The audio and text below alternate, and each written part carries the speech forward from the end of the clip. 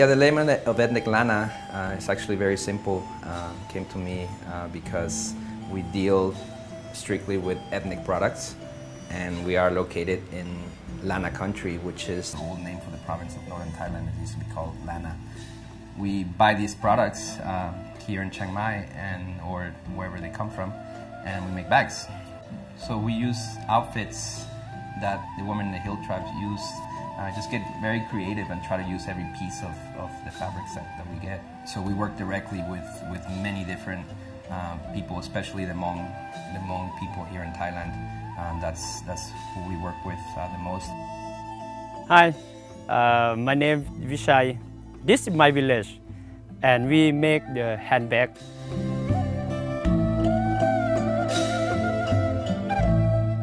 For handbag, this is my business. Uh, maybe 10 years ago, uh, my wife and me, only two people make the bag, the handbag. And my wife helped me the dye color. My son helped me uh, put the fabric on the ground to dye. My family, the big, and my mom, sister, mom. My, my wife have the brother and sister. The brother uh, helped me uh, to cut the fabric. Okay, my mother and sister uh, sold the bag.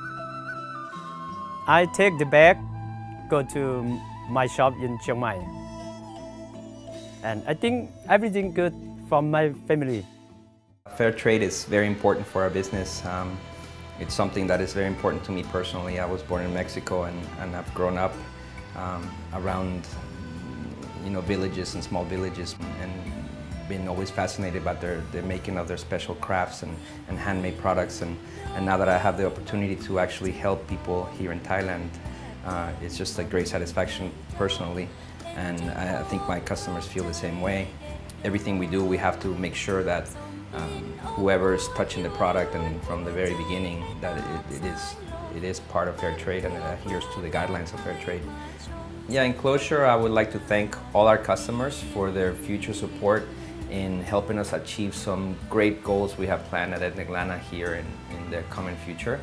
Um, all of them helping the, the Hmong Hill tribes here in Thailand. Um, the first project uh, is going to be to bring internet service to Bichai's village. Um, since he's so far away from the nearest town, uh, all the service providers will not bring the service to the, the lines to their village. So what we have to do is we actually have to purchase the tower, the Wi-Fi tower, and install it in the, in the village. Now we need the tower, Wi-Fi tower because uh, my village and uh, my people need more work and uh, Wi-Fi and the internet, everything help the, to my village, everything.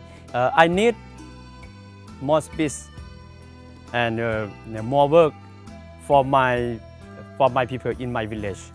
Now, the second project is to build a, a, small factory where we want to hire the local women and teach them the trade and provide some steady uh, employment for them and, and hopefully uh, start teaching them creativity into making different different types of products, which is, I think, something that, it, that is lacking a little bit there, and, and I hope to, to help them in that, that area.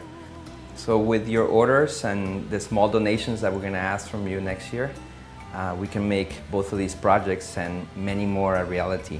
So thank you very much for your help and happy selling. ขอบคุณครับว่าจางดาว